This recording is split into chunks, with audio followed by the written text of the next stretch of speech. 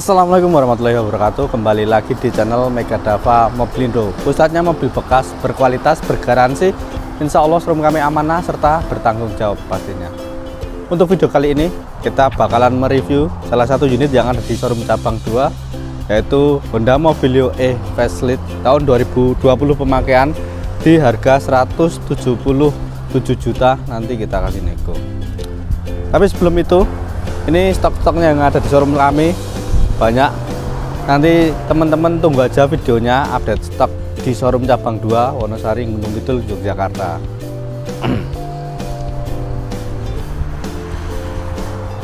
Pokoknya tonton terus channel Mega Dava Blindo. Jangan lupa like, comment, dan subscribe tentunya. Langsung saja mulai dari depan. Bagian headlamp kanan kiri semuanya masih mulus. Udah dikasih variasi chrome list di sini.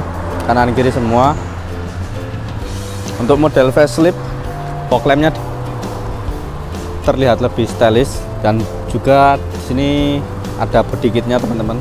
Jadi kalau teman-teman minat dengan unit ini nanti silahkan tanya-tanya saja atau datang langsung ke showroom kami yang ada di Wonosari Gunung Kidul Gunung Kidul Yogyakarta. Grill bagian depan semuanya masih mulus. Mungkin nyapnya ini sedikit ada goresan lecet sedikit nanti juga kita perbaiki bisa kita kondisikan supaya lebih mulus lagi. Lanjut di sebelah kiri kondisi ban. Kondisi ban masih di 90% masih seperti baru. Tahun pembuatan di 2020 teman-teman. Jadi ini ban pertama kali kilometernya masih rendah juga. Kondisi velg utuh semua. Jadi jangan ragu lagi kalau jenengan minang minat dengan mobil ini. Sepian retract bisa diatur dari dalam terus bodinya masih kaleng baik semua. Ini masih ada barcode dari Honda. Di ban belakang juga sama kondisinya masih 90%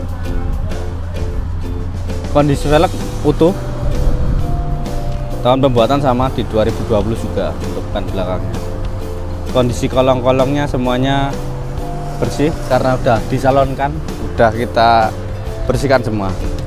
Di belakang ini stop lamp lampu bagian belakang juga ada variasi chrome list. Jadi terlihat lebih estetik. Plat AD ada kamera mundur terus di, di belakang ada dua sensor parkir. Kondisi bumper belakang semuanya utuh. Tidak ada minus teman-teman.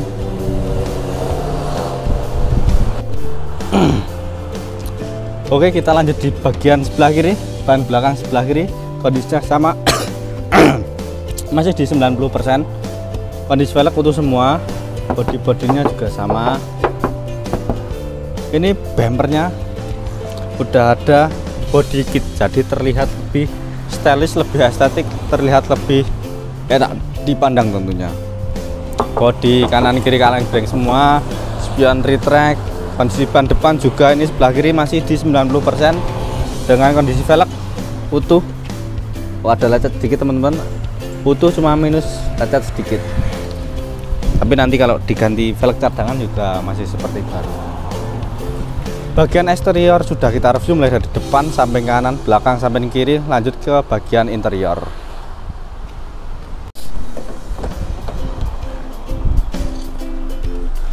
Interiornya seperti ini head unitnya double din. AC nya sudah digital.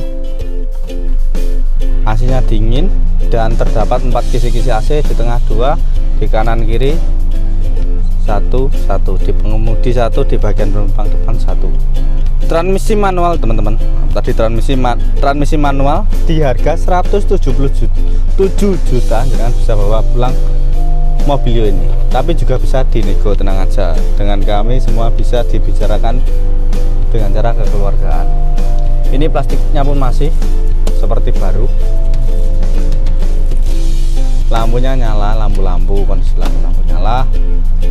Terus sebenarnya road track tadi bisa diatur di sistem kemudi di atas power window. Lanjut di sistem kemudi ini terintegrasi di head unit. Jadi bisa mengatur volume mengatur memindah channel dan bisa mode yang lainnya. Untuk kilometernya masih di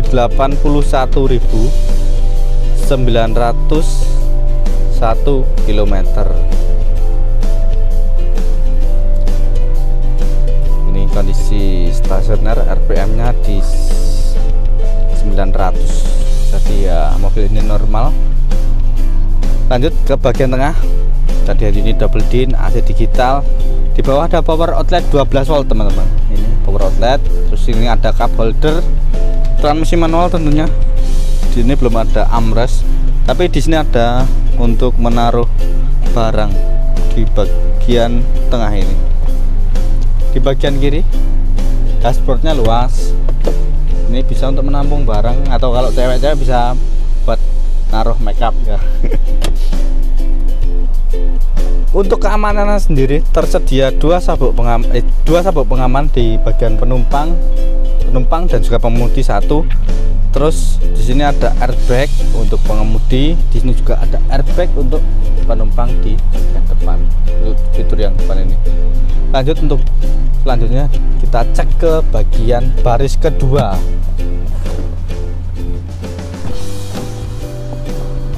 Di bagian baris kedua ini tempatnya luas.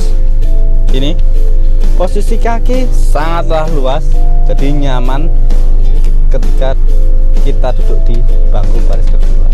AC double blower di sini. Kipasnya bisa diatur di sini. Ini kisi-kisinya ada tiga dan semuanya masih utuh di kisi AC nya terletak handle tangan pegangan tangan. Empat ya teman-teman di bagian penumpang satu. Bagian pengemudi satu. Oke maaf terus ke bawah sini ada tempat untuk menaruh barang kecil. Ya ini untuk menaruh permen juga bisa teman-teman. Di bawahnya ada tempat cup holder untuk menaruh minuman. Ini juga bisa dibuat untuk penumpang belakang. Ini ada kantongnya untuk menaruh ya menaruh apa aja teman-teman ya ketika nanti beli mobil ini. Di bangku baris kedua ini ya terasa nyaman luas posisinya dan ini bisa di oh cukup segini tekuknya jadi nggak bisa sampai tidur ke belakang. Tapi nyaman. Untuk sabuk pengamannya sendiri keamanannya tersedia tiga sabuk pengaman untuk penumpang bagian baris kedua. Sisi AC. Sampai sini dingin terus juga posisi kaki luas jadi jangan jenengan jangan ragu lagi untuk beli unit ini. Apalagi belinya di showroom Megadava Mobilindo bergaransi berkualitas serta amanah dan nanti kalau jenengan minat bisa diantar ke rumah. Cek barang di rumah kalau nggak jadi ya kita bawa lagi unitnya ke showroom gitu aja teman-teman. Lanjut ke bagian baris ketiga di bagian baris ketiga kalau di baris kedua tadi nyaman tempatnya luas ini di bagian ketiga sangat kontras sekali. Posisi kaki di bagian baris ketiga mepet ya teman-teman dan posisi duduknya pun tegap kurang enak lah bagi saya. Tapi kalau teman-teman mencoba nanti juga merasakan sendiri. Tapi juga nyaman sih sebenarnya di bagian baris ketiga untuk fitur-fiturnya ada cup holder di sini. Ada tempat untuk menaruh handphone atau barang di sini. Kanan kiri semua ada. Audionya di sini juga ada di bagian bagian ketiga. Terus untuk keamanannya sendiri tersedia dua sabuk pengaman di bagian baris ketiga. Jadi memang diperuntukkan untuk tujuh orang. Depan dua bagian baris kedua tiga orang dan bagian belakang dua orang. Tapi kalau untuk anak-anak ya bisalah tiga anak-anak kecil. Bagian baris ketiga posisi hadapnya pun ya lumayan. Ya enak sih dibanding kompetitor-kompetitor lainnya. Seperti ini posisi duduknya. Tapi memang ini bagasinya untuk bagian bagasi. Kalau dimuat full 7 orang tersisa space sekitar 20 sampai 25 cm tapi kalau ini ditidurkan ya lebih dari setengah eh, lebih dari setengah meter atau 50 cm jadi kalau jenengan minat dengan unit ini nanti silahkan hubungi kami saja di link yang tersedia di kolom deskripsi. Nanti harganya bisa nego lanjut kita cek bagian bagasi dan juga cek bagian mesin.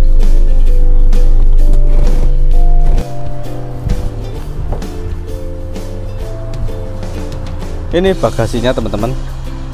Bagasinya tadi lebih dari 25 cm ternyata kalau kita buka dari belakang. Jika kita tidurkan ini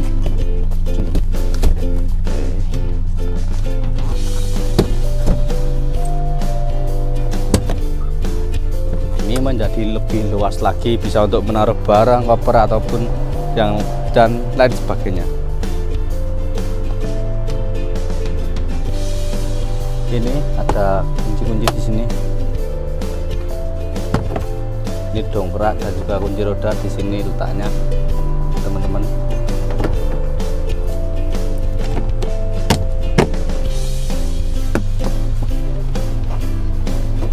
Oke untuk ban di bagian bawah. Ban cadangan. Kita cek ke depan bagian mesinnya. Kita dengarkan kehalusan mesinnya.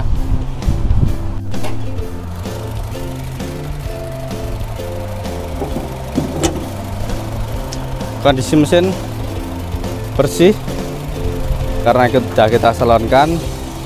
Mobilio menggunakan mesin Honda teknologi Iftec dengan kapasitas mesin 1497 ya 15 dengan 5 percepatan menghasilkan 125 tenaga kuda di 4000 rpm jadi torsinya pun juga besar.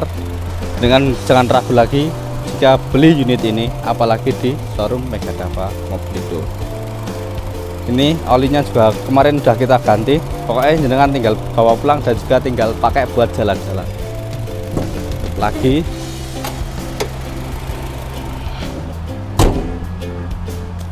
Itu tadi teman-teman review Honda Mobilio E tahun 2020 transmisi matic warna silver di Mega Dava Mobilindo cabang 2 Wonosari Gunung Kidul Yogyakarta. Jika jenengan jenengan minat dengan unit ini silahkan hubungi kami saja di link yang tertera di kolom deskripsi atau kalau mau cari referensi kita juga punya Livina di sini. Livina warna putih. Harganya 112 juta nanti kita kasih nego dan masih banyak yang lainnya. Pokoknya tonton terus video kami. Jangan lupa like komen dan subscribe. Agar kita lebih semangat membuat video. Sekian dari kami. Wassalamualaikum warahmatullahi wabarakatuh. Terima kasih